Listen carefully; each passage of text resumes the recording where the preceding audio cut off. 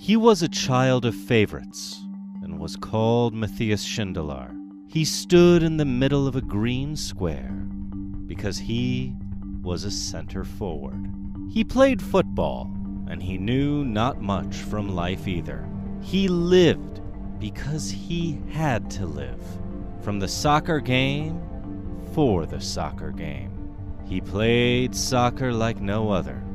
He was full of wit and imagination. He played casually, lightly, and cheerfully. He always played, he never fought.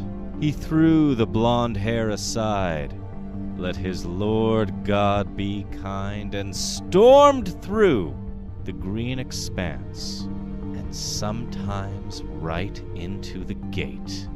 The High Warden rejoiced, the Prater and the Stadium, when he smiled and fooled his opponent and quickly pulled away from him, until one day another opponent suddenly got in his way, a strange and terribly superior one, before which there was no rule nor advice. From a single hard kick, found the player Schindelar, cast out of the middle of the plan, because there was the new order. He stood by for a while before leaving and going home. In football, just like in life, it was over with the Viennese school. He was used to combining, and combined someday.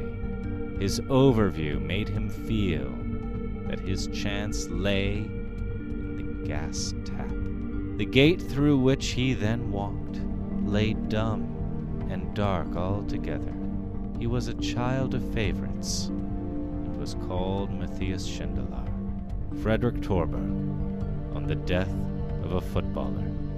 My name is David James Roberts. In the upcoming podcast documentary, The Ultimate, the true story of Matthias Schindelar, I will investigate the legend of the Paperman.